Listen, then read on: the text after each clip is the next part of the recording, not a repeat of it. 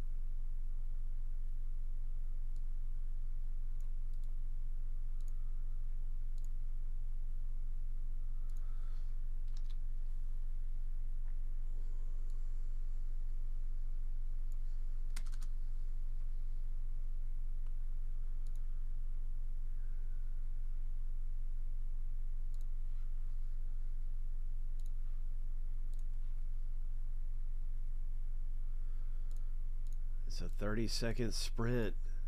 It's a showdown. This is a showdown. Kyle and Stephen K.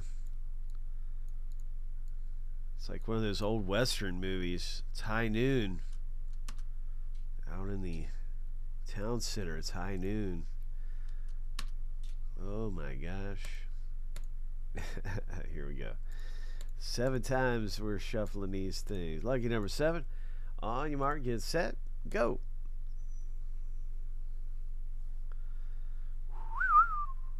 uh, I couldn't do the the Clint Eastwood whistle, but it's a showdown. Stephen K is out front, hustling and rustling. Keep them doggies rolling. Stephen K. Five seconds left. Spinning them wheels. Go. Three, two, one. Kyle's come up. Oh my. Then the last seconds. Oh, he did it. I can't believe it. Kyle has got three spots now in the box break of Archive Signature Series. Congratulations. So yeah, this could be a fun break. We're down pretty close in that thing. We'll be ripping that probably here tonight.